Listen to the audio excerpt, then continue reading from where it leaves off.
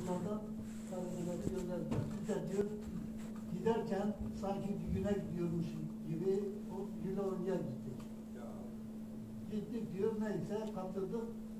Efendim bir şarampel geldi diyor bana. Ee, ağır bir duruma düştüm. Ağır yaralı, çok ağır. O zaman da ağır yaralılara bakıyorlardı, ölülerin içine atıyorlardı. Hafif yaralılarla uğraşıyorlar. Bir yaralı olan çok. Beni atmışlar diyor şeyin ö- ölülerin arasına. Doktor oradan geçerken Fransız bir doktor. Ben Fransızca demişim ki ben ölmemişim. adam bakıyor. Ya diyor adam konuşuyor, siz baktınız buraya. bir bir götürüp diyor. Ee, iki, üç ayda, iki ayda veya 45 günde, izlerim iki ayda falan.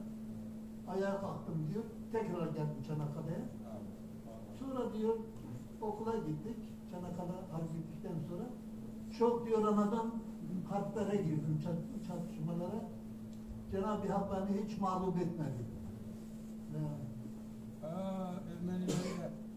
Ha, Bakü'ye de gitmiş çıkmış. Ermeniler için diyor Ankara'dan bir emir geldi. Tüm cemre gideceksin diyor. Çoluk çocuk, kadın erkek hepsini öldüreceksin diye.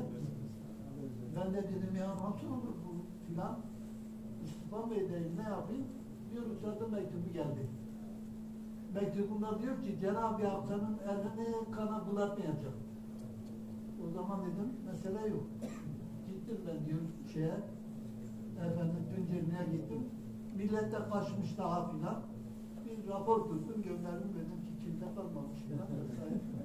Ee, tabii bu müsbet hareketin içinde Aleviler buna çok muhabbet ediyorlardı. Camiye giderken ahadlara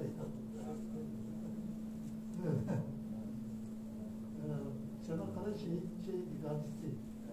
Evet, Halen de burada duruyordu şeyi, yarası. Yarayın.